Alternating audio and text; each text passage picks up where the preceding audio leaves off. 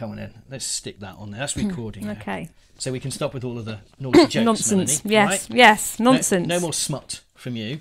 This is a clean. this is a family podcast. Okay. And action. Cue music.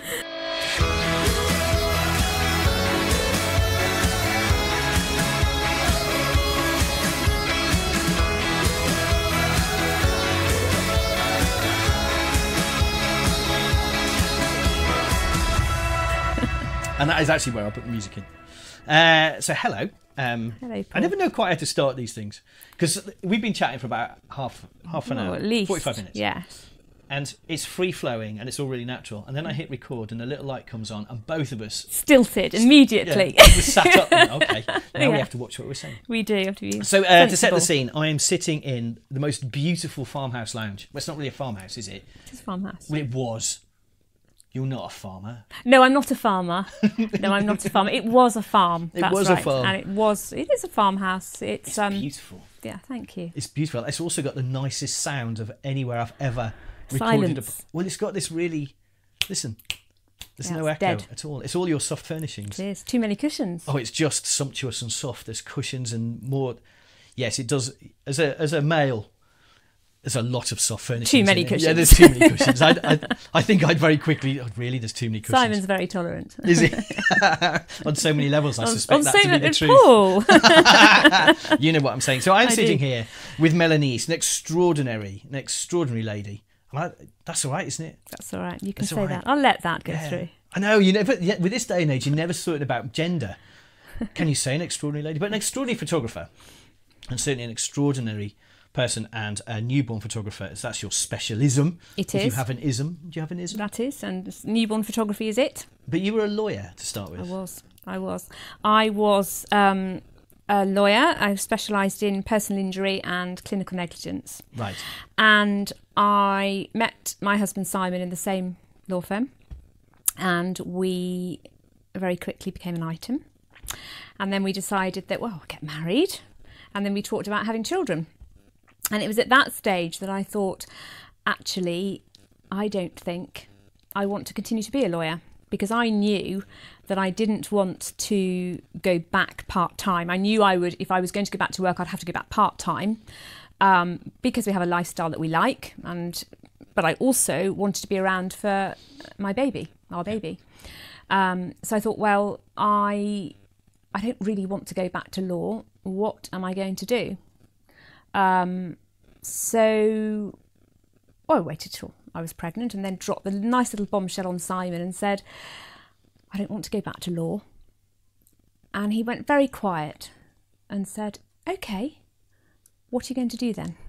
I said, Well, I quite fancy being a photographer.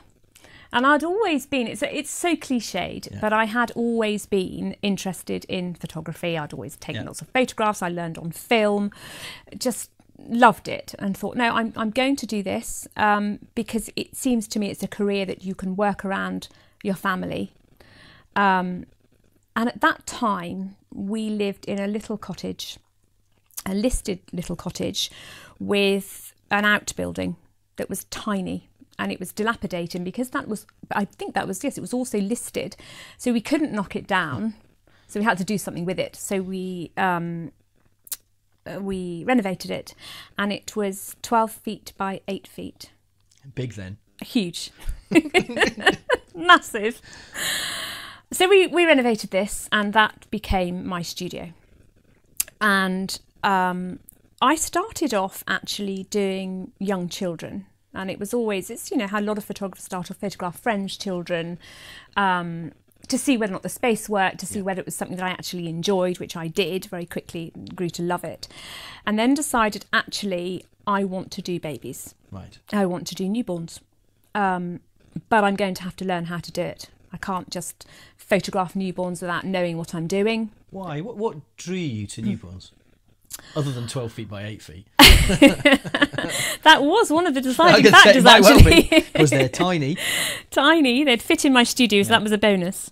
Um, what drew me to newborns? It, it really it was because it's the only real time in your life when you change so quickly, and babies develop and change within the blink of an eye. and before you know it, you are you've suddenly got a six month old, and you look back and you think, actually, where did that time go? I was well, actually, when I had Amelia, I was tired. Yeah. I, I take my hat off to anybody who comes into my studio with a newborn baby because you're tired, you haven't slept, Yeah. you're exhausted on every level. Um, and I thought, you know, actually, the, this such a it's such a lovely time to document for people. But I can't just pick up a baby and start photographing. I need to learn how to do it, and I need to learn. Oh, the lawyer in me kicking in. I've got to do it safely. I don't want to be sued. Thank you very much. Yeah. So I went to America, and I learned from Ana Brandt, um, who's a huge um, global name. Um, and I came back and lots of model calls because I thought I'm not going to just start a website with um, with with stuff that I'm doing for clients and pop it on and oh that's a baby and that's okay so that'll go on the website. I wanted a strong portfolio. Yep. As soon as I got a strong portfolio, I will then launch the newborn side of the business. So that's what I did. So I model call, model call, model call. So were you still paying shooting clients. other portraits I, at this I was because I had to bring in an income. You know, Simon and I have a lifestyle that we enjoy. I know I'm sitting in it. it's lovely. it's hard work. Um, but we have a lifestyle that we enjoy. And we knew also that we wanted to educate our daughter privately. And that's expensive. Yeah. And luckily, we only have one child Yeah. because I couldn't do two or three. I don't know how people do it. Um, so we, so yeah, so I specialised in newborn and loved it. Really, really loved it. And I've never looked back. And I still do. I do the majority of my work is newborns, but I also, of course, do six month old, 12 months old, age two, age three, you know, because once you photograph somebody's newborn and you've done a great job, Yeah. before you know it, you become their family photographer and you're creating. You know, I, I photograph children now that I, I photographed 12, 13, 14 years ago. Did I see you sneak a wedding in the other day? You did. Yeah, I do that? 10 weddings a year. Right. There was a stage back in 2006, 2007 where I was photographing probably 20 weddings a year. Um, because it gave me certainty, it's very different Yeah. from portraiture. It gives you certainty of cash flow. Yeah. You know, and back in 2006, 2007, people were booking two, two and a half years in advance. Yeah. It's not It's a bit different now. it's different now, completely different. So I liked the certainty. I liked the £500 booking fee Yep. that I would never spend. Incidentally, that's well worded. I hear so many people call it It's deposit. It's not a deposit. not a You're talking deposit. to a lawyer. Come on. Yeah, yeah, no, it's quite right. I, I've done. I've, we have a non-refundable booking fee That's because a non-refundable booking fee. non-refundable deposit does not exist under English Absolutely, law. absolutely right. So I liked the five hundred pounds booking fee. I would never spend it until the wedding was done because you never you didn't know what was going to happen. But even so, it was as far as I was concerned, it was non-refundable. Yeah. But the cautious side of me would put it in a separate account, and that's the booking fees.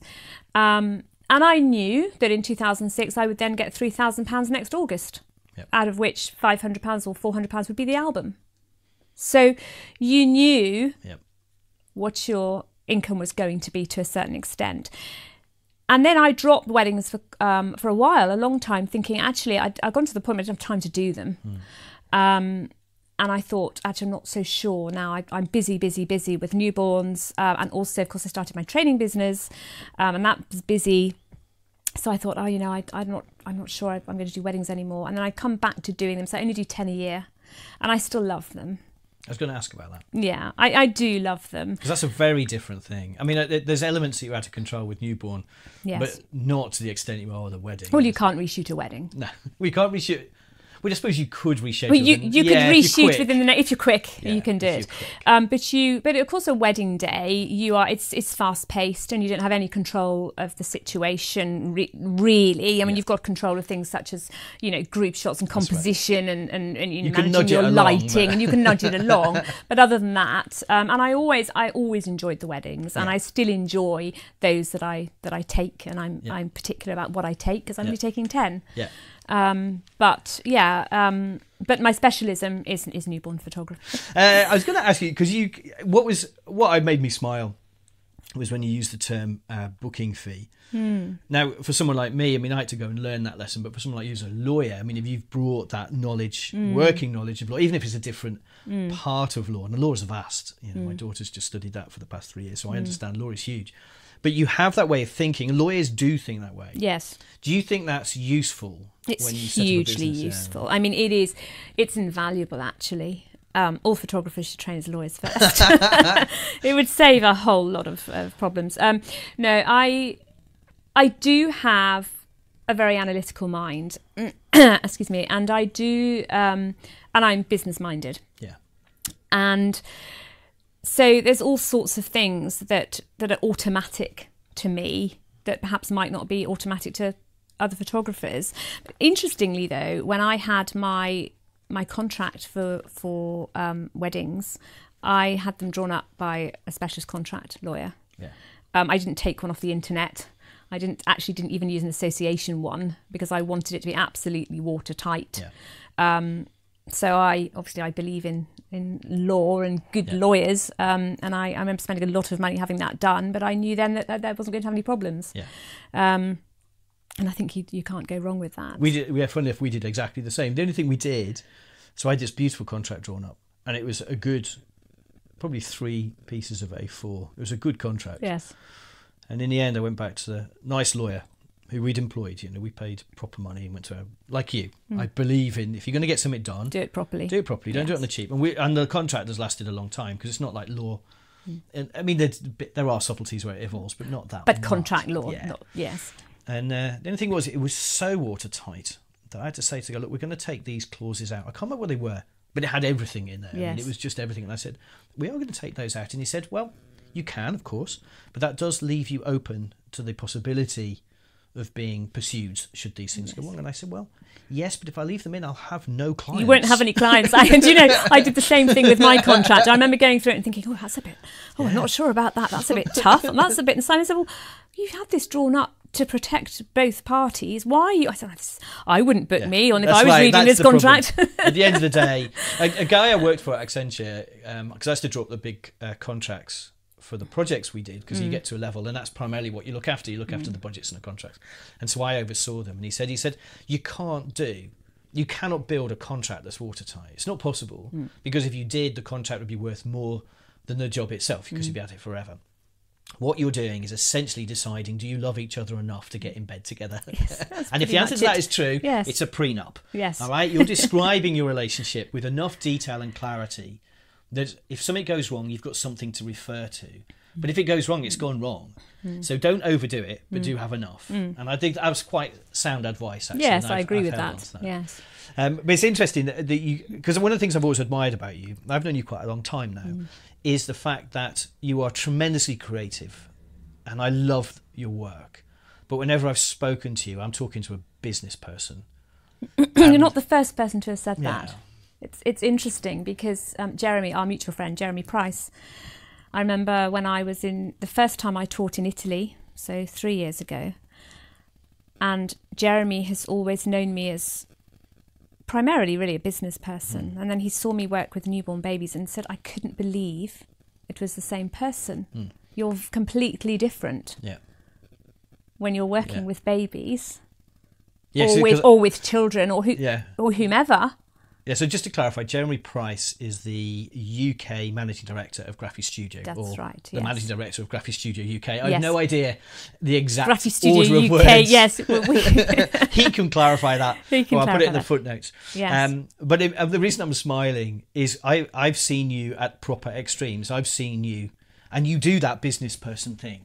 You, you do it like this, and you, you've got your hands, and you do a proper, you know, businessy. You, I don't know if this is translating onto a podcast. I know exactly. You know what I mean? That kind of no, you charge this. No, this is what we're Yes. going to do, and there's no ifs and buts. And I'm hoping Yes. that sound It's comes across. very clear cut. But equally, I've seen you stood on the side of a stage before presenting, and you're a true creative because you're in bits. You're kind of, you know, I hope this is going to be all right. Hmm. yes, because I think you know because you know a lot of photographers say to me, "I'm nervous before my shoot," and I say that's great. That's right. That's a brilliant thing because and they why why because it means you care Yeah. about what you're doing and it means you care that you're going to do a great job for your client. And actually, I've always said the moment that I don't get those butterflies will be the moment I give it up. Yeah. well, you, Because- well, you won't. You'll do a bad gig, is what you'll do. That's how. That's actually because I, I. That that won't happen. Well, the thing, I remember. I- I've told this story news times, but the parallel is the same. You, you, you have to care. You have to be passionate. But the problem with Mm. that is comes fear and adrenaline. no, that's true. Yes. They, they're just part and parcel. Yes, Stage yes. fright is just a, is just Yes. a byproduct of, of being passionate about something. But I remember as a drummer, I remember one night I wasn't worried. Terrible gig. Really? Terrible gig. I mean, it was all there, but there was Yeah. no fire to it, you know, because Yes. I wasn't scared. yes. And from that point forwards, I was always scared. Yes. And then if I wasn't scared, I suddenly realised I wasn't scared and became And so scared. then you would it become gonna be scared. and Yes, so it- yes. in the end, it's just a way of generating the necessary Yeah. heightened reactions Yes. and all of the passion that goes into it. That's really interesting. I mean, you know, it's things when I'm teaching small groups, I still get a little bit nervous beforehand because I want to make sure that every photographer gets more than they ever thought they were going to learn.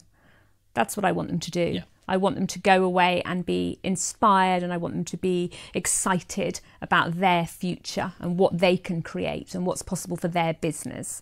Um, when I'm on a big stage, the photography show or something like that, that's when they say we've got 45 minutes and you've got big mic'd up like Michael McIntyre. this big microphone in front of your face. Um, and that's when I think, I remember the first time I did it, I remember thinking, oh my goodness, and there's a lot of people there, and you're, you're just, okay, deep breaths, just going to, you know, go out and do it. And of course, as soon as you start speaking, well, for me anyway, as soon as I start shooting or as soon as I start speaking, the nerves disappear and you just do your job. Yeah. Um, Do you find, because for all of us, and this is a podcast I will do in the next coming few weeks, um, the differences between the performance and the act, and they are slightly different things, a performance and an act. But when you go on stage, clearly it's a performance. Do you find the same love when you're performing as a newborn photographer, when you're performing as a trainer, or when you're performing almost literally as a performer? Do I find it the same? Do you enjoy it the same? I enjoy it just as much. Yeah. I enjoy creating and photographing for my clients just as much as I enjoy training photographers. And I get a real buzz when I see something that a photographer that I have trained Yeah. has created Yeah. because I think, wow, they've they've gone away and Yeah. they've implemented what they were taught, and they are now growing as a photographer. And I, I just get so excited about what they can now do and where their business can now grow. So I think that all of it just gives me a buzz. I mean, I've been doing this now 15 years, Yeah. not training, I was, doing, I, was. I was doing the maths because obviously Yes. Amelia's just done Amelia's just finished GCSEs. GCSE. She is nearly 17. That's right. So you must have been doing it. You must have made that decision about 17 years ago, Yes. give or take, from the stories Yeah. I've Yeah, heard from you. that's It's, right. it's a long time to be to be following this one dream. It it is, and it's it's something. As people say to me, "Would you ever go back to law?" And I don't miss law. I still actually, I'm still very interested in law. I mean, I'm reading great books at the moment. I'm reading The Secret Barrister, which is a great Yeah, book. I've read that book. It's a great book. I'm reading Under the Wig. It's a great book. I'll watch all the legal dramas. I'll criticise them, and I will sit here and criticise them. The fact that they haven't, oh, they haven't researched that properly, and this Yeah. isn't right, and that Yeah. not right. You know, and I'm still very interested in law, um, but I wouldn't. What I want people say, never say no. But I've been out of law now for a long time. Um, actually, when I started my business, I kept in with law. I kept in with all the changes, thinking just in case this Yeah. doesn't work, Yeah. I need to be able to go back. I, d- I did the same with technology. Yeah, Um, I've, I've got to have a backup plan. this is, you know, just in case this Yeah. doesn't work. What am I going to do? How you long know? did it take you to get the business on its feet? So let's let's. Uh, I, I'm going to make some assumptions. Hmm. Let's let's assume. Let's use Amelia's birth date. Let's Hmm. use that as the start point because it's an easy one to track. So let's say that was the beginnings of it in true. Yeah, I mean, obviously it wasn't because you're exhausted and you've got Hmm. A newborn baby. Yes, yes, You start to think and you start to build and Yes. you start to pre-visualize yes. it. How long before you'd got a business as we would know it, not the business you have now, clearly. I would say it took me about 18 months Right. to two years. Yeah. Um, remember, of course, I had a young child. Yeah. Um, but I knew very quickly that I wanted to replace my salary. Uh, This was never, for me, this was never a hobby. Yeah. This was never going to be, oh, well, you know what? I've got a baby now, I've got a child now, and I'm going to let's just see what happens. If I make some money, great. Hmm. That was never the plan. You know, this was always going to be, you know, this is a business. Yeah.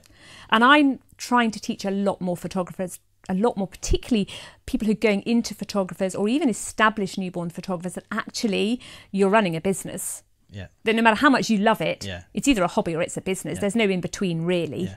So, You, have know, no idea how happy this makes me. Yeah, but- just- but it's you know it's it's so true, and I and I for me it was always going to be a business. It was always going to replace my salary, um, because we had Simon and I have had plans, have plans, um, and so I went into it from the beginning that you know thi- this is what you know I, this is what my pricing is going to be. I'm not going to start low. That's not me. I'm not starting low. I have trained. I've spent a lot of money on training. I'm always, you know, whether it's podcasts or TED Talks or whatever Yeah, it is, yeah. I'm always continually training. yeah. Um, and so, therefore, and I want to be paid what I believe I'm worth. And there is a certain amount of arrogance in that because you have to be, you have to be confident about it. And even if you're not confident about it, you have to pretend to be confident. So let me ask you a about it. question, and this is one that there's a few people listening to this who'd recognise this, which is when you start, you're not actually doing that many shoots, No, not to begin with. and particularly if you price quite high. Mm. So, you- or you you price as an established photographer. Mm. How did you handle the pressure of knowing each of those jobs? You, know, you might only be shooting once every two weeks to Mm. start with, but th- those jobs then become quite. They become an opportunity of fixation Yes. if you're not careful. How did you overcome that, or is it just, you know, being a lawyer anyway? That's part of what you're trained in, I don't think I've ever overcome it. Right? actually i mean i think because, because it goes back to that uncertainty i mean i my business model has always been built on low volume high spend Yeah. that is how i wanted it from the beginning and it's never changed because that's how i wanted it i was never going to be and never wanted to be a bums on seats photographer Yeah. I, I was never going to be free session oh i hope they buy something i wanted people to invest in me Yeah. as a photographer realize that i can create beautiful work for them and invest in that Yeah. and pay what Yeah. they should be paying for it. Um, how did I overcome the fear of it? I suppose I just had self belief. Yeah. And, it, and there were times where I would doubt and think, oh God, and, and you think, where's the next commission? When's I used to say to Simon, I haven't got any work for next. In fact, it's interesting. I'd say to him, I haven't got any work for September. You know, this is going back, you know, what, 15. And he'd say, well, neither have I. And I said, what are you talking about? You're Yeah, employed. He said, no. Yeah. He said, I'm employed, but I'm on three months' notice. Yeah. He said, and we're talking now in June, and you're saying you haven't got any work in September, neither have I. I thought that's a really interesting way of thinking about it. Interesting and slightly scary when the two of you Yes. in that conversation at the same time. And I said, well, let's not think about that. You're let's not 12 think foot about by let's 8 not- foot. What could we use that for what, tomorrow? what else could that be? So yeah, so I it goes back, you know, and I think probably actually one of those things was one of the reasons why I went into weddings was actually let's have a bit more certainty here. Let's have, you know, X amount of booking fees coming in and then your remainder coming in two years later. You knew that two years down the line or 18 months or whatever, Yeah. you've got this amount of money, plus, of course, the portraits that, that I'd shoot and so forth. Um, but I think you, you have to you have to have self belief, um, and you have to you have to work very hard. so and, let me ask and- you an extension of this question, yes, which is inevitably there are going to be people who use your services and then don't spend the way you would like or the way you've planned. And, and unless you're superhuman, and maybe you are, and that just doesn't happen to you, it happens to most people. How do you then deal with the psychology of those one or two? Which because it could be another. It's In- one of the it's one of the risks of having a low it volume is business. it is a risk of having a low volume business. But I, in the early days, it doesn't happen now actually, but in the early days, yes, there would be people who would not spend what I had hoped they would spend, and you have to deal with it. You just have to, you know, you look at your projections and you'd look at and you think, okay, well, this month got a bit less money you know and, and, and but then of course there would always be the clients that would make up for that and it's sort of in the beginning it's like um a heart monitor yeah. You know what I mean with the Yeah. peaks and the troughs. Um, and but now, but I soon learned I have to target my client. Right. Who is my client? Yeah. And as soon as I worked out who my client is, who are they, what do they value, what's important to them, I can target them. Then I'm targeting people who will spend the money. Yeah. And it isn't about people who have got necessarily a lot of disposable income. It's about the people who value what you do and what you can create and who value family portraits Yeah. and newborn portraits. So how have you found them? How have you targeted them? I've created my I've created an avatar of my ideal client, and I have thought to Describe myself, them. okay, my ideal client. You knew it was. I was always going to get it was there. coming. Who is my ideal client? My ideal client is somebody who loves tangible items. They love. They might shop in the White Company, for example. Yeah. I use the White Company when I teach photographers business. I use the White Company a lot as an example, Yeah. because when I go into the White Company, I love the way everything's very tangible and everything. The, the fabrics are very soft and the, the, the clothing is beautiful and the colours are very, very muted. And I, I love everything about the White Company. So I know I can go in there and I can spend, much to my husband's dismay, quite a lot of money on some Egyptian Yeah. cotton bedding, for Yeah. example, Yeah. um, that I could probably get um, in, I don't know, Debenhams. But it wouldn't be the same because it's not the White Company. It's the whole Yeah. branding, isn't Yeah. there? There's the whole brand loyalty there. Um, I've forgotten the question. It was, it was, You'll edit that you're out. Describing, you're describing your my ideal client, of course I am. My avatar. So my ideal client, they, they shop in somewhere like the White Company because they love nice things around them. They love art. They are people who who value. I'm not going to say value their children. Everybody values their children, but value memories and want them on the wall or in an album. Yeah. They're people that, that are not interested in a quick fix. In other words, people who are not interested in just digitals. Yeah. Um, they are people who, more than anything, love what I create. Yeah. So that, and they want that for themselves. Yeah. So a lovely way of doing it is the idea of an avatar. Hmm. I mean, I've, we've done the same exercise. I can describe. Yes, I can describe the client I'd love to have. I mean, you, yes. that uh, clearly doesn't encompass. But there's two different things, aren't there? The client, Oh, yeah. well, they don't necessarily have to be, but they are, you in know. my mind's eye. And I used to think, you know, when I first started, I used to think, think the ideal client is a person with a lot of money. No, it isn't. No, It not isn't at all. Of course, it isn't. In fact, But that was my naivety. yeah, no matter how business minded I was, my Yeah. my naive, I didn't know enough about the photography industry or under, didn't understand at the beginning actually how important it is to find out who, who is your client, what do they like and dislikes, you know, what do they what do they do, what are their hobbies, yeah, it's all about prioritizing. So how they prioritize. how do they prioritize? Is it? I remember very clearly um, somebody turning up to. Um, I had a studio in a, the couple of villages away. Um, a high street studio, if you like, but not a busy high street. Um, and I can remember I had an ordering session coming at about six o'clock, and my husband happened to be there fixing the skirting board or something like that, something useful. Good, good old Simon. Good old Simon. Is there anything he's no good at? No, he's just done the paving outside. Is he really? great. I, I admired it actually. It looks really nice. Please do come and admire it. He'll be thrilled. I did. I was coming in because we're about to do our backyard. So I said, well, that's quite nice. I didn't realise Simon had done it. I should drop him a note. Any free time, Simon?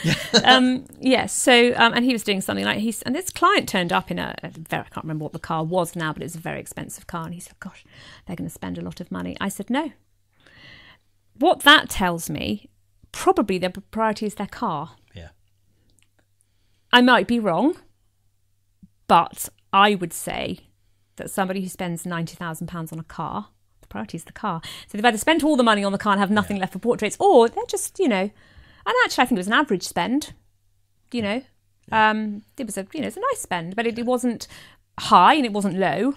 Um, but I, and I remember Simon saying, "Well, what, what do you mean?" And I said to him, "You know what? It's not about how much money. I can remember clearly a client that came to me and said, "We've saved up for these newborn pictures. To us, these newborn pictures are just as important as the car seat." And I remember thinking, "Wow." And then being under huge Yeah, pressure, that's thinking, right, yeah, yeah, yeah. God, I hope this baby sleeps, you know. Yeah. Um, but I can remember them saying it, and me thinking, "Gosh," hmm. And that taught me quite a lot It, it was a real. It sort of grounded me a bit. And thought, gosh, you know, actually, these are people who have really saved up for this. Yeah, I've I've had wedding. I had one wedding client. I remember the meeting clearly, and I remember. And I'm going to try and describe this carefully because it's it's meant to be a really nice story, and I don't want it to sound worse than that. Um, I knew they couldn't afford me. I was, the minute I met them, the mm. venue was not an expensive venue particularly. It was a mm. nice venue, mm. And I knew from what he said that he couldn't afford me. And but I, you know, as you do, you go through it. And, mm. and he and his fiance met me, and we had a, a drink. And at the end of the meeting, he said, "I can't afford you." Funnily enough, and my heart sank because that's an afternoon of my time. I've gone mm-hmm. out onto a location. It was in the days when I used to go out to the hotel to meet them there, the, the Yes, venue, which yes. I, I don't do anymore. Yes, I used to do that. Yeah, you very quickly learn that that's a lot of You, time. you suddenly remember. Uh, out. So no, not necessary. No, not anymore. Um, and he said, I can't afford you. And I, my heart sank. And he said, So I'm going to do extra shifts. Mm. And I nearly cried. I nearly, you know, he just wanted it to be the photography we create. Mm. And he valued it so much, or they valued it so much, he was Mm. going to work double shifts for the next year to pay for it. And those are the clients. Mm. It's very humbling, isn't it? Well, those are the clients you love. Those are the clients you yes, cry over, and it doesn't yes. matter where they are in the, you know, whether they're high earners or Mm. not. It's if they love your photography that much, Mm. those are the guys that make you cry, no matter what the spend is. That's right. It is. It, it is. It's it's really the spend is is it sort of relevant because obviously you're running a business. But I mean, yeah, it yeah. is the clients that I love are those that value what I do, and that I know will love their newborn or their child portraits or family portraits for forever. Yeah, You know, and and they're not going to languish on a hard drive. yeah. You know. So it's, it's interesting hearing you talk about creating this this avatar, and of course, over the, your career, and I've I've had the the pleasure of working alongside you for quite a long time, Mm. um, in and out of the MPA and various other places, and then watching you, watching what you're doing develop and expand. Of course, now you're as passionate about training new photographers as Mm. you have been about creating these images for yourself. Why? Why that passion? Why that drive? I train? think, well, you know, it started. I didn't ever think "I- I'm going to start a training business. That, that actually wasn't on the, the business plan when I wrote my business plan. It wasn't on it. Um, I was going to ask you for the avatar of your trainee, but I won't. Best not. No, we, could be, we could be there for a long time. We'll be there a long time. um, so I, you know, I, I, I was asked one day, "Will you teach me how to do this?" I remember thinking, "Oh gosh, no, I don't, I'm not sure." Um, no, I, I, because I didn't know whether I could teach. Because there, there's two different things here. There's the ability to create and light um, and compose, and all of those things to create beautiful imagery, and then there's an ability to teach. And I was concerned. I thought, actually, I don't know if I can teach. I've never taught before. I don't know if I'm going to be a good teacher. And I'm somebody that if I do something, I have to do it properly. There's no half measures with me. So I didn't want to put me myself in the position where I was doing a job that wasn't yes I knew I could create beautiful newborn images but could I actually teach how to do it properly and effectively across I didn't want to put myself in that position in case I didn't get it right and I didn't want to put the delegate in that situation um, either Yeah. in case they didn't get out of me what they wanted um, so the initial commission I turned down um, and then trying to think what my first I think it was the MPA I'm sure it was the MPA asked me it was Claire Louise asked Yeah. me will you run a workshop for us? Um, 25 people. Thinking oh my goodness I've just turned down one person and I'm being asked to teach 25 people. So I thought right the only way I'm going to know if I can do this is to do it. It's the only way. And it was a two day event um, up in Birmingham or Coventry or I think it was Coventry. Because I, was chair of the MPA, I think. you did you, you came I to one of them And I think you used Meg, my then assistant. I did that's right I did And I, ki- I kind of pushed her forward and said, you go, you could pay attention. That's right. She assisted throughout the whole right. thing, didn't she? She- That's right. Because I thought she'd learn a lot more if I put her at the front. she did. She loved it it. wilt at the back otherwise. It's too, too It was hot in that warm room. in the room. It was warm in that room. So um, yeah, so I remember doing that, and I remember the feedback that I got from the MPA at that point. I've still got the emails actually. Um, really blew me away. Um, and the feedback that I got from the delegates. And actually, I'm still training some of those delegates. I have ongoing mentoring with me, which is lovely Yeah. because they're just progressing and you see them progress, and that's lovely. Um, but and I remember thinking, I remember loving it, absolutely loving the light bulb moments that I could see happening with these photographers. But moreover than that, I have a real passion about newborn safety. I was going to come on to that. We'll we'll come on to that, but I- but I and I wanted. I thought if I'm going to teach, I have a responsibility here. I have responsibility not only to the baby that's modelling for me and the parents Yeah. that are sitting watching my every move, but I've got a responsibility to 25 delegates there, and to the MPA to show them how to do it properly, how to do Yeah. it safely, and why we don't Yeah. do certain things and why we do certain things. Anyway, the feedback um, from that first two day workshop was phenomenal. And I've never looked back on that either. So I thought, right, okay, I can do this. Um, and so I started to train photographers and I one to ones and workshops. Um, and love I love it. Do you find you're more creative in a workshop? Um, yes. Well, I think it's tricky. I think yes, I am in a workshop because you are te- you're teaching photographers, and so that's not to say I'm not creative. I have to be careful what I say. I have clients listening to this call. You know, I don't want clients sitting listening to this Yeah. thinking I didn't mean it like thinking, that. Thinking, well, she's not creative for us. You know, Well, let me let, let me put a box around it so you get the the frame in which I'm talking. Is I find when I'm training, it's incredibly liberating, and I don't know why. Mm. There's something about being whether I'm recording a well, video. I, I think or, I think also is of course when you're when you're training and you're creating, you're creating for the photographers. yeah, and for you because Yeah. you've got a model and of course for the parents but but this is not a fee paying session from the from the parents and they will end up with some beautiful images but Yeah. you don't have a brief to work to which to work do you you, you don't It's the have freedom. I think it's the I freedom. think it's the freedom I can set my own pathway through it. Yes. and I can say I'm going to illustrate this. Whereas obviously when you're working to a client and you're like me, you know, your client is is very close to you. Yes. It's not like a commercial gig. no no no You know, I'm I'm pointing my camera either at the com- person who commissioned me Yes. Mm-hmm. or an offspring or a relative of the person who commissioned me. And of course, you're trying to work to a not a brief, but you're not. Well, it's different. You're, you're not trying. You're not creating necessarily. It, it depends what, what I'm teaching. If I'm teaching a, a, a masterclass on how to create award-winning images that are going to win competitions, Yeah, then that's a totally different tuition than somebody who wants to learn, say, beanbag poses for a Yeah. newborn and know, you know, how do I get 30 pictures? yeah, So it, it's different. It depends what I'm teaching. Yeah. Obviously, if I'm teaching beanbag work, there's only so much creativity that can go on with a baby on a beanbag. Yeah. Um, really, that's about posing and lighting and angles and you know, um, when you're doing creativity, well, it's just.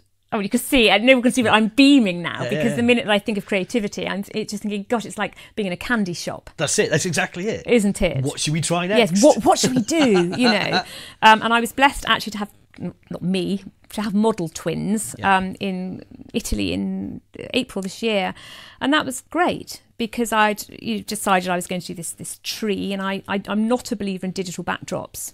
Um, that's not. I mean, I think they serve their purpose and they can be great. They're not my thing because You're such a lawyer. Uh, well it's not it's not they're not my thing because it's not my creativity is it No, no, I agree with if you. you're using a digital background, and photographers out there who use them will now hate me for this, but if you are using a digital background, they're great and they can be wonderful for fussy babies and, and, and, you know, they're great inventions and they're wonderful. I don't use them. I want to be creative. I want to be the person that thinks of what I'm going to do and and puts it together Mm-hmm. rather than than, you know, popping a baby into a Well, I'm going to add. A, I'm going to add a footnote to that for you because you haven't drawn on it. Is if you do use to anyone who's listening to this that uses digital backgrounds, remember that it means you can't enter them into competitions. Thank you so much. Yes, that's really important um, because I think, well, They're out there, said but about they that, get the better. caught. Yes, yes, You will get you will get found out, and Yeah. as somebody discovered last year at the SWPP, yes, it can be quite catastrophic yes. for that person if you get if you suddenly discover that you're in breach of the rules. I don't think that person necessarily thought that through. I think perhaps you know the rules that come through. Sometimes people just don't read them. That's It's just you know wouldn't think about you it. just don't think It's about it. you think day, you're so doing it every be and you're thinking, well, this is beautiful. I'll pop this in, but actually, it's half somebody else's work. That's right. Um, you know so so yeah so i i do i I love to be creative with photographers. I love to be creative with clients. And sometimes a client will say to me, I want one special piece. Yeah. I don't want, Oh, I love that. I love it. I don't Yeah, want 20 pictures off it. I Yeah, just want one. one. And then I can, you can really talk to the client about, okay, talk to me about what what's I'll find out about their whole family. You know, what's important. What does this baby? Is this your first baby? You know, you're finding out a story. Is this, if it's their second, is that we didn't have any photos done last time, but we want a really nice yeah, picture of this really one. nice picture, exactly. I and can you just, you know, And you're kind of thinking, ooh, we're, we're, we're causing problems down the line. here. Exactly, Is your favourite child? so it's you know um, being able to create something with um, with the client i see it very much as a joint collaboration with a client. It isn't me saying we're doing this. It's finding out about them um, you know and, and, and coming up with a concept if you like. And and being commissioned to do one of those i mean they they take a long i mean one of those masterpieces can take me four hours in the Yeah. studio. You know in that time i could have done 25 pictures of a yeah. normal baby pictures, if you like. Um, that'll take four or five hours. Never mind the two, three hours it takes me to come up with the concept, Yeah. or even longer. You know, but but I do love commissions like that. Yeah, they're, they're They nice. keep you creative. They keep you fresh. Oh, they're wonderful when you get someone like that. I, said, Yeah. you know, I had one the other day. She said, I want one big picture Yeah. on the wall of our son. No smiling. Don't Yeah. need any of that. I want something I'm going to look at every day. Yes. And I hit it on shot one. Fantastic. Literally. Yeah, I, and I you have- know when you get that feeling where you've nailed it. Well, the thing was, I laughed because I've got, you know, they're here for probably two hours. Exactly. You can't see. You can't have done well, it. I, I, Finished. I, I, he sat in this patch of light, and he was he was really lovely. The little lad was lovely, and he sat in this patch of light. It was outdoors. I start always start outdoors if I can, because with portraiture, particularly with kids, Mm. it's it's more disarming to be out in daylight before I put them into a you know Just- all the, all of the lights and Yes, the stands yes. and everything. I hit the button. I looked to the back of the camera to check the exposure was right. Not it was exposure right; it was nailed. And I Yes. showed her and laughed and said, "What do you want to do for the next two hours?" yes. And luckily for me, she laughed, and then we had this wonderful session. The most Yes. beautiful photos. So so happy. And of course, as a as a creative, when somebody comes in and says, "Do your best," Yes. basically, not I mean, don't do your best. Create the best thing Yes. that you would ever dream. It's of. exciting. It's it's tremendous. exciting. Yes. And I think with when you start training photographers, somehow that's an innate op- opportunity. It happens as part of that contract. Mm. You know, and I, I, nearly used to show off, and I think that's possibly right Mm. because part your part of what you have to do is to make it achievable. That's a big chunk of it. Mm. You have to show or illustrate some skills that they can take away, something they can take away and use, but also. It's freeing because right, I'm going to show you how we create one of these. Let's have a go. Yes. You yes. know, and I love that. And I think also, particularly in newborn photography, there's a lot. I see the industry changing. yeah, I see a shift in newborn photography. I'm seeing it move away from the very, very posed. yeah, Um, and you'll see. Certainly, I'm doing much more natural. I have, I do, I offer two things now. I offer the stylized, Yeah. very, very posed Yeah. babies. You know, Yeah. beautiful, beautiful work. And now I've literally just put up on, with permission from a, a client, uh, on Facebook, my Facebook page, very natural baby, just doing what baby does. No props, getting the light perfect, and just a beautiful image of a baby. You don't doesn't need anything else, yeah. just pure baby. And I'm seeing a bit of a shift towards that. So I, I always What do you think's to. driving that shift? I think that it's difficult. I'm, do you know? I'm not actually sure what's driving the shift in it. And all. I think maybe it's been perhaps slightly too overdone, Yeah. possibly. Um, I think that, but there are, there's also going to be, you know, a, a selection of people who don't like the very posed images, um, and I love them. But since having done, you know, the more natural, I love that just as much Yeah. because it's just pure simplicity you know you don't need anything else with a baby but actually if you look at my work generally even the posed the stylized photography that i do there's not a lot of there's not what i would call clutter around the baby. Yeah, it's it's they're very clean. they're very clean um elegant refined images. They, they don't have lots and lots of props. They don't have lots and lots of flowers or and that can look very beautiful. Um but it's just not my my style I did, I did a commercial gig the other day, and the brief was to not be so clean as normal. Honestly, I've had the dirty. We had to approach it in a way it's slightly different, dirtier shots. But yeah and, and one thing I know, um, I've spoken to you about this a lot. um, is the safety aspects of newborn photography. And I know, I I mean, I was trying to figure out how to word it so that you get a chance to do a bit of tub thumping about health and safety. So here's your opportunity. Why are you so vociferous on the health and safety I aspects? am. I'm passionate. I'm devoted to it. Um, I am. I, I mean, part of this will come through my legal background, Yeah. and I know how easy it is to be sued. So there's very much there's that there's the legal head. There's no doubt about it. yeah. That is very much if you do this, if you if you harm a baby, God forbid, your career's over. You'll be sued. But forget any of that. You've just ruined somebody's life and somebody's parents' life. I mean, that is huge. Um, I, I'll be completely honest with you. I am fed up to the back teeth. Paul's grinning at me now, but I'm fed up to the back teeth of I, I seeing- opened the door to you this. opened the door. You've asked for this. You've asked for this. I am fed up to the back teeth of seeing photographers take unnecessary risks because all the risks that photographers take with newborns are totally unnecessary.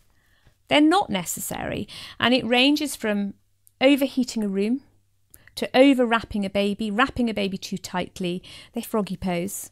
I think it's manipulating a baby a bit too much, but also it's the lack of thought about the airways. Yeah. So people think that actually a froggy pose is safe if you're doing it as a composite. But that actually, although yes, of course, it should always be done as a composite, the issue really is the compression of the. Ah, I'm doing it now. If you Yeah. press here, you, Yeah. you've got floppy, much floppier airways, and a, you know. So I should I should just say for the for the listener of the podcast, Melanie is pushing her own throat to Yes. illustrate, but this yeah, where there's no pictures. yes, exactly. So it's so there's you know there's and I and I also seen it seems to be very trendy now to video a baby on Instagram, um, unsupported. No, no, I should point out not all photographers do that. Some photographers are incredibly sensible, and there's nothing wrong with with your as long as you've got the client's permission. There is nothing wrong with videoing your tiny little client in a bucket or whatever they're in, as long as their head is supported and they can't fall.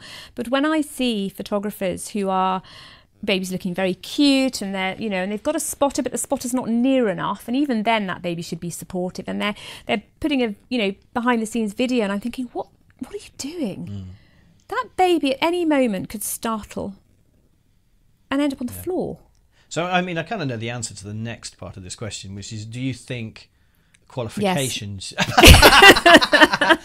should, before Melanie dived in, incorporate uh, the safety aspects? yes i part of the absolutely do. and i think i would like to see the newborn um newborn photography regu- i mean i'd like to see the entire industry Yeah, regulated. both. but I but I think particularly newborn photography, and it is something that I am working with with a consultant paediatrician.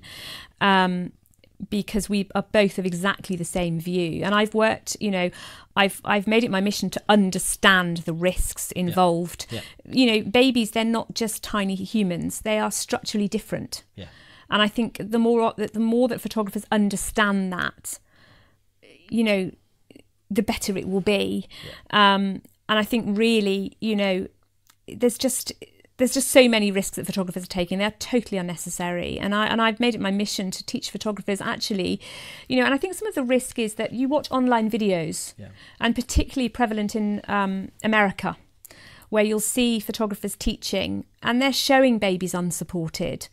And, and and so if you're new to the industry, or even if you're not new to the industry, you're thinking, well, so and so does it. She's very famous out there. She does this unsupported. It must be fine.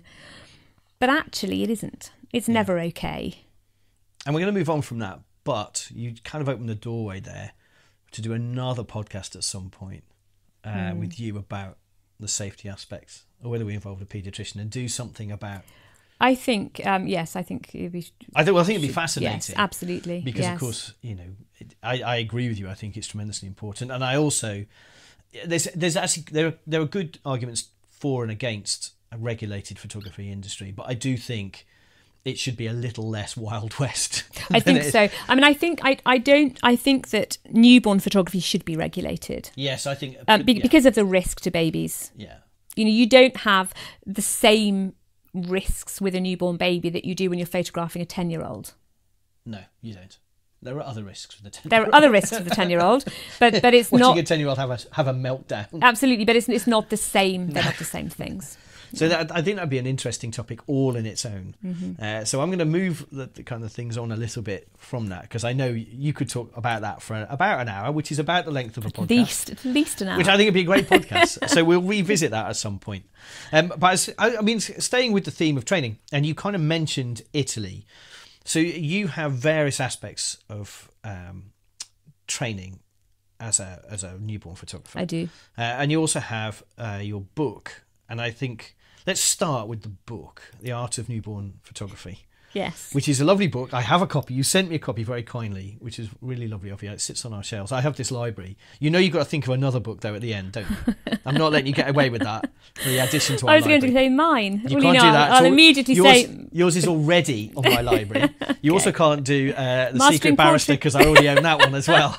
okay. or Mastering Portrait. What about mastering portrait? Because I have, I have Yeah. that. You yeah, see, you I have can't have that either okay. German, Italian, or English. None of those already exist. It's a bit like um, Desert Island Discs. You've got the complete works of Shakespeare, and you have the Bible Yeah. on there, don't you? Yes. You can't have those. So you're gonna have to. You've got about the next 15 minutes to think of one. Okay. Uh, however, I was going to talk about the book and ask you um, whether you enjoyed putting it together. It was a bloody nightmare. um, There's a whole anybody who's written a book listening to this podcast is now applauding you. Yep. um, well, okay. I think um, there are elements that I certainly, yes, I enjoyed. I mean, certainly putting together your knowledge. Um, it's actually a great way to see how far you've come because it's almost like you know you're collating all these notes that are in your brain um, and putting them together in a in Yeah. a book. I mean, it's it's great. And I, I can remember when the publisher said to me, "We need fifty thousand words," and I remember thinking, hell am I going to do that?" Um, but actually, it's it was manageable. I think actually I think I did forty five. I couldn't quite reach the fifty, but um, but yes, you know, That's a lot of credits you could have added at the end. lots of yeah, extra credits. Ex- Ex- yeah. Who else can I think of to put Technical in here? Technical notes and- How many more camera settings can I add? Um, but uh, but I, so collating sort of the notes that were in my brain, if you like, and putting them down on paper.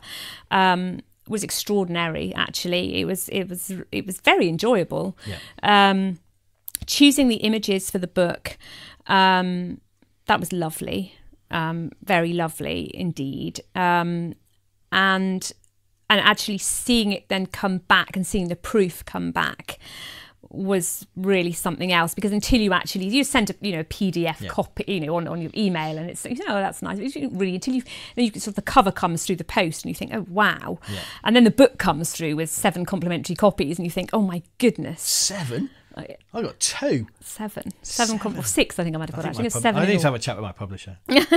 yeah so so i think um and, and then actually holding it in my hands thinking gosh this is actually real now um it was enjoyable it, nobody ever really writes a book um, on photography to make money um it's not something it's a very niche newborn photography it's a very niche um subject but it's it's selling really nicely um and somebody once said would you write another book and i think the answer probably would is a possible no because of the amount of time it Yeah. took It's a big distraction. Big, it's isn't a big distraction because remember, the same as you when you wrote your book, you're still running a business at the Yeah. same time. So you've got to find the time to write a book yeah.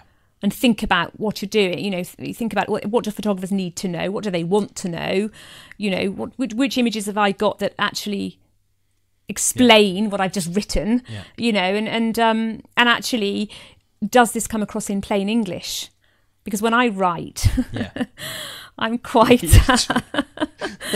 I'm quite um business structured if you like and I had to really keep going through it and thinking actually this is you know this needs to be softer it needs to be readable Yeah.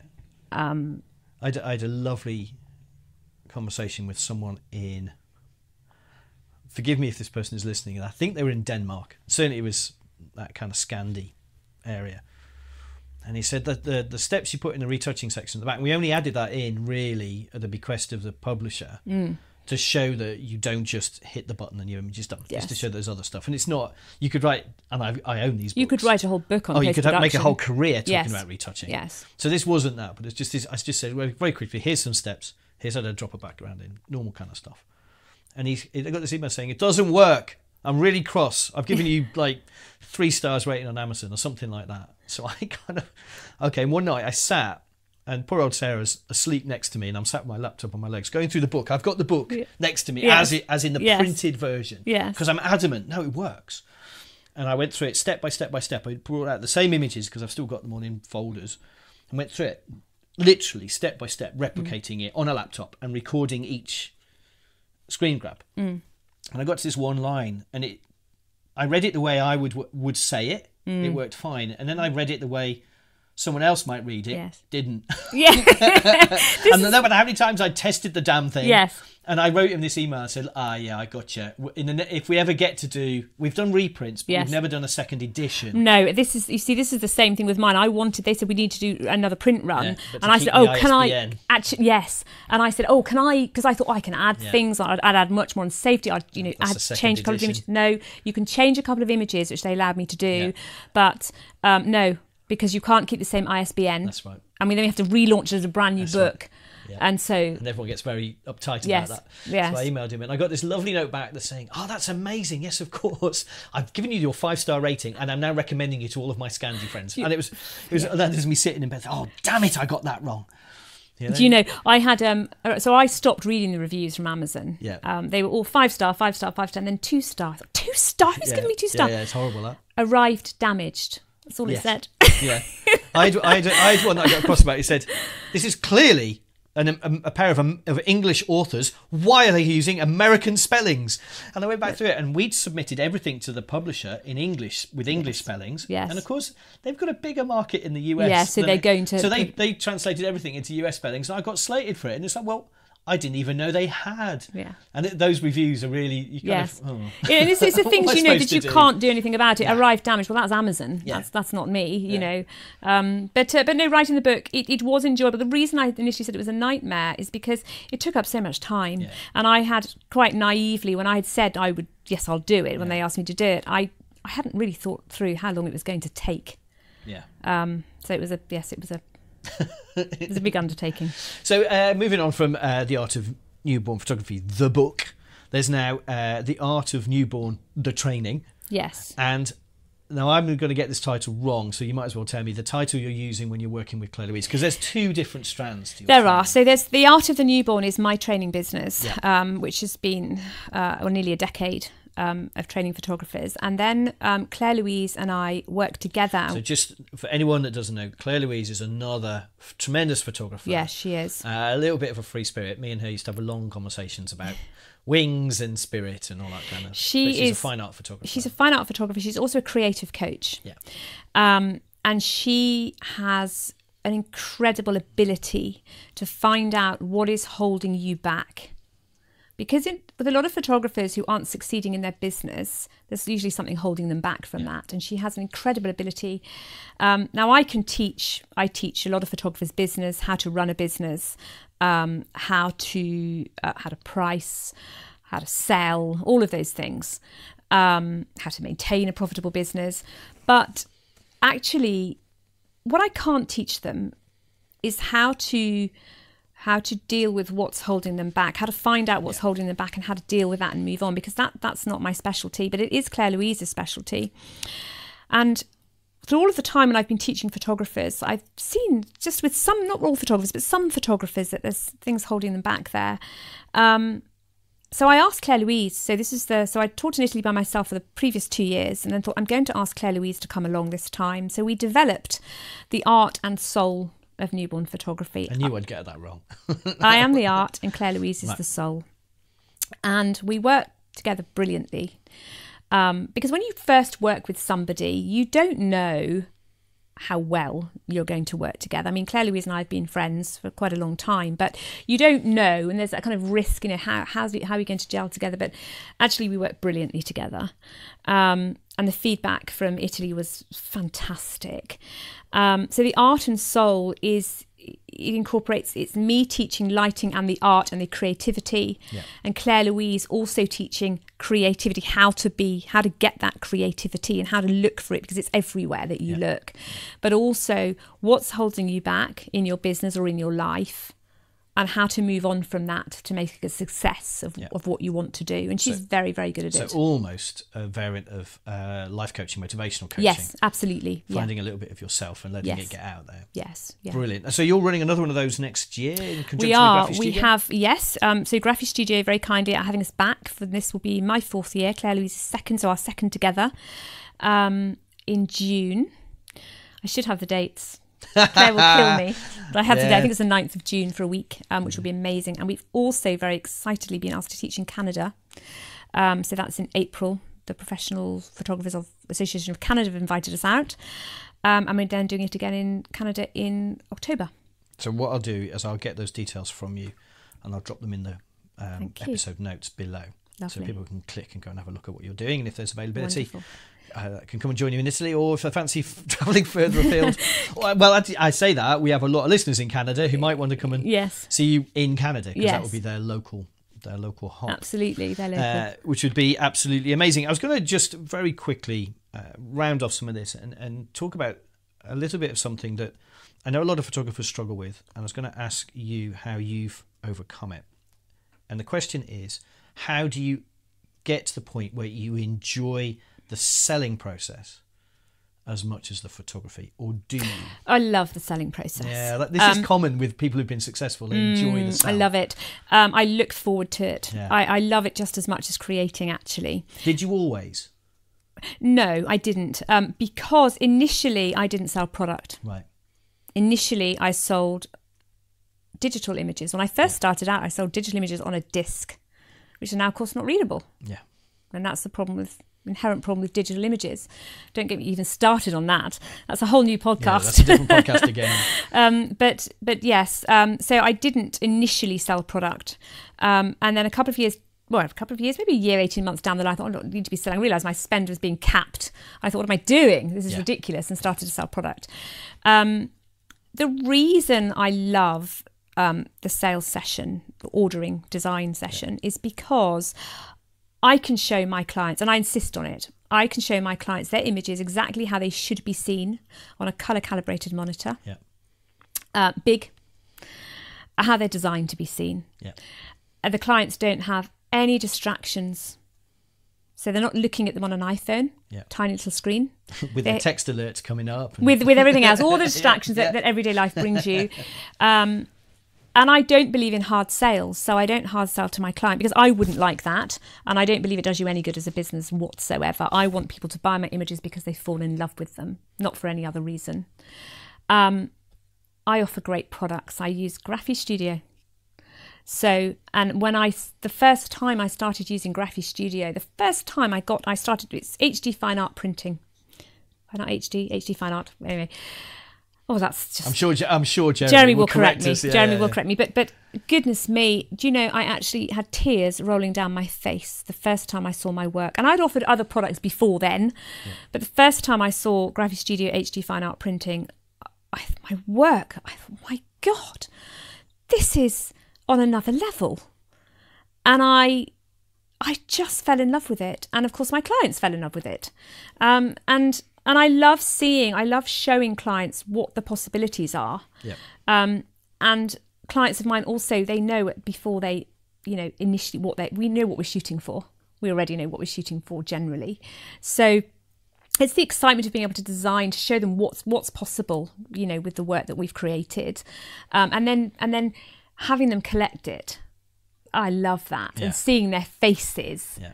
And just seeing and you know often parents will mothers in particular will cry because they're seeing a tangible this beautiful tangible say reveal box with these images in it beautifully matted and they're looking thinking that's my baby Do you make a point of having the picture when they come and do the pickup? Do you make a fuss of that that whole session? Is that a thing with you? So we do. For instance, if someone comes to pick up, let's say, a, a piece of wall art, Yes. we've got it on a big easel with a spotlight on it. So when they come back to the studio, that's their first impact. No, I don't do that because my studio is teeny tiny, um, and I don't. I've normally got it set up for another session. it's bigger than twelve foot by eight. Foot It's now, bigger than twelve foot by eight foot. I should I should point out we've moved on from there. We are we are thirty square meters exactly. I was going to ask you about having a home studio, but I think we're going to run out of time. No, that's It'll be fine. maybe for another podcast. That's fine.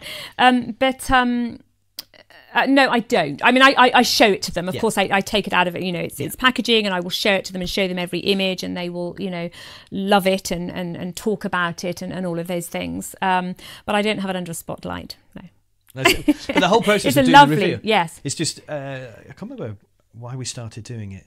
I think because it gave us an opportunity to slow them down yes, and ask things like, "Could you give us referrals? Could you give us Yes, recommendations, yes. reviews, Yes. those things?" And it was much easier to do that if I was, if I, yes. you know, got the impact Yes. of them seeing it for. Uh, Yes, uh, absolutely. and I've I mean, we, you know, I, I go through everything with the client. You know, show them, you know, if it's if it's um, wall art, it's it's you know ready for them to see, and it's it's a real. Reveal books. They look at all the prints separately, and you know all those kind of things. Um, but but I love absolutely love um, the design and and um, ordering appointments because I like to see their reactions. Where do you think people's nerves of the sale, of the sale room sale process come from? I think it's a lack of self confidence. Um, I think it's a, a lot of photographers certainly tell me that they don't like. It's, it's funny we they're working in a creative industry where face to face is key because you're a photographer, Yeah. and yet they don't want to be doing. For them, it's easy. I'll put it online because it's either a self confidence issue Yeah. um, that they're worried that maybe they won't like the work, or they just don't like they, they don't know how to deal with the whole selling process. Yeah. And I think they photographers think um, I need to hard sell. Well, that's not true. You, you don't Yeah. need to do, shouldn't yeah. ever need to do that. Um, you know, and I think it, it's also they, people worry about being asked about discounts, and they they don't know how to field questions Dealing with objections. dealing with objections, any possible objections that might come up, um, and they just don't like the whole face to face. Um, And they see it as a confrontation as opposed to actually an amazing appointment. Yeah, over the years, I've I've grown to love it. Yeah, There's something hugely liberating about that moment when you Yes. think, actually, do you know what? It's lovely. yes, They're going to sit there and they're going to see these pictures we've created together. yes, Um, they're going to have all of these memories the same as I do. Mm. And even if they're throwing up objections, they're almost always objections about what they have the availability to, to spend. Mm. And that's out of my control. I'm not going to get stressed about that. Mm. You know, we had a lovely lady came into the studio and, and she was up front with us. So she actually emailed us the week before and said, Look, I've just been made redundant. Do you still want to see me? Mm. This was between the shoot and the reveal. And we said, Yes, of course, because at the end of the day, we want you to enjoy your images. She loved them. She hadn't got any money, clearly, or she, you know, was looking to the future. Um, and bless her, you know, uh, clearly not an ideal sales session. But a wonderful moment to show. Her. But a wonderful pictures. moment Yeah, actually to show her her, her her You know, and it takes a bit of confidence, and it also takes a little. I think it takes a little bit of longevity. I think you have to have been doing it a while, and that you know tomorrow there's going to be Mm. Exactly. And, and I think also, I think that once you've done it once, I say to those to whom I teach, look, once you've done an ordering session once and you know nothing terrible happened, Yeah. you know they didn't burst into tears because they hated the pictures, Yeah. you know once that's not going to happen, you know it's easy from now on. It's fear. yeah, And fear is, is, a, is a huge thing that will prevent you from doing something, obviously. yeah. I think that that's absolutely true. But I do think people should take the time to learn the sales room as Yes. much as they learn Yes. the photography aspects, because once you get your head around that, Yes. everything becomes so much more fun. It does. It becomes fun, and, and it's you know, and also I believe that you're only doing half a job if you're putting them online. Possibly you're doing Yeah, because I think I it's think your so. duty really to show your clients those pictures um, Yeah. properly. I, th- I think the big question is to ask. I do this every session is to ask myself why are they here. Mm. They're here to buy something, and and that's the minute I first meet them. They're here for me to create something. They've they can already decided that they're going to spend right. money. Yeah. yeah, exactly. Well, we, we can have a debate about how much. Yes, but exactly. But they've already decided. They've booked you. But they've already decided. The, the easy part's done. Yeah. They know they're here to spend money. That's right. It's what you create. Yeah, and I think that's a lovely thing once you get to that that point Mm. of enjoying it. Um, a couple of last questions. If you could change one thing about this glorious industry of ours, now I'm going to group all photographers together into one, which is possibly we can ignore the fashion photographers; they're out there on a limb. Uh, but everybody else, what would you change? God. I don't know. What would I change? Well, you see, I'm looking at it from a newborn newborn point of view. Okay. Um, because obviously that's my All specialism. right, this one without them. Um, so we'll have that one. Um, what would I change? I would have the industry regulated. Right. So let's see if we can get a tub something about that one then, shall we? That's that's what my plans are. Um, I want it regulated. Yeah, I think Um, that'd be a good thing. yeah. That's what I'd change. Wonderful. Right, last question. And you know it's coming. Which book? This is, as I keep saying in our podcast. It's there on the coffee oh, table. Oh, table. you've actually got one out. I have my. It is Darcy. No, not that oh, one. Oh, not that No, one. no. I quite like that book. It's beautiful. Not that one. It's the, the icons. Civil War in 500. Which Not- one am I reading? You've got a pile of books. Not that one. It's the icons of photography. Oh, right, so th- four books down. You Yeah. expect me to have second guessed. Sorry, four. Is it There four it bits is, down? says, I haven't got my glasses on. I can't actually see. Oh, I should dig it out. it's I should dig it out from this pile of books. It's the icons of photography. I love it. Okay, so the book is Icons of Photography of the 20th Century. Uh, it's published by Prestel. I will put a link to that. We'll find the, the- one of the great joys of doing this, which I didn't anticipate, I'll be honest, is that if you go onto Amazon and look for second-hand books, I looked for the one um, that featured in a podcast yesterday, which was the uh, Anita Roddick, the yes, Body the Shop. body shop you can buy a second-hand copy for a penny, yes, which is ridiculous. that's incredible, isn't That's a penny, really? The, the postage was like twenty quid, but uh, you could buy the book for a penny. And I just think that's that's terribly sad because that's the way that's where our books are going to end up in Yeah. you know twenty years time. Yes, uh, Melanie manages, but that's a wonderful book. I shall add that to our list. Uh, it truly, I can. I've seen this book and I know that it's definitely worthy. Um, I will go It's get a myself a second-hand copy so that it sits on our shelf. I've got this fantastic library, wonderful. very varied library. I'll be honest. yeah. Um, what a lovely thing. So, on such a happy note, thank you for your time, It's my your pleasure. candor, and your incredibly comfy sofa, which I'm just gonna, I'm just nestling in. You should see. I'm going to take a picture in a minute to show that how we recorded this because I'm sitting here in amongst the most beautiful. It's all reds and purples. Purples. Um, You're colourblind. There's no purples in here. Those are purple. To me, those are purples. They're red. They're not. That's a that's a bluish red. That's a purple. It's red. To me, well, right. It's all reds. it's reds and creams, and it's wonderful. And I'm sitting here, and it's just the most lovely thing. Lovely thing. So thank you very much for your It's time my and your pleasure. energy. Um, and what a wonderful interview. On that happy note, if you've enjoyed, I'm going to do my wrap up now. Is that all right? I've never done one like this. That's fine. Norm- normally, um, I do it in a post, but I'm going to see if I can do the whole thing in one record because it'll save me a lot of effort. Go for it.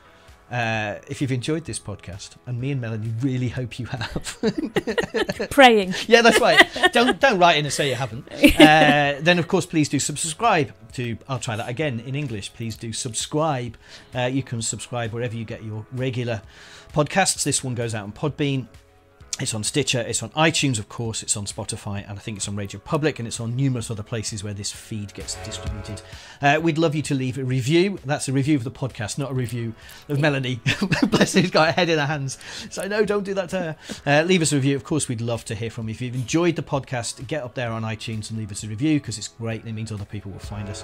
If you haven't enjoyed it, if there's things we could change, uh, then please do email me privately, uh, which is paul at paulwilkinsonphotography.co.uk. Uh, if you have any questions at all, then use the same email address. And until next time, remember what have they got to remember, Melanie? You don't know, do you? Be kind to yourself.